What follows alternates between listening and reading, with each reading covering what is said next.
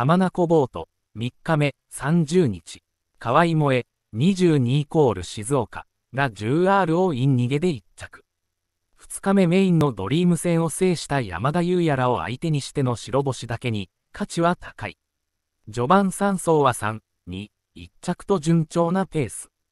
成績だけでなく気配も上向いて、手応えを深めてきた。整備をして乗り心地や操縦性が良くなりました。これでいきます。4日目は6、12R の2回乗り。持ち味とするけれん味のない走りで、地元ファンの声援に応えたい。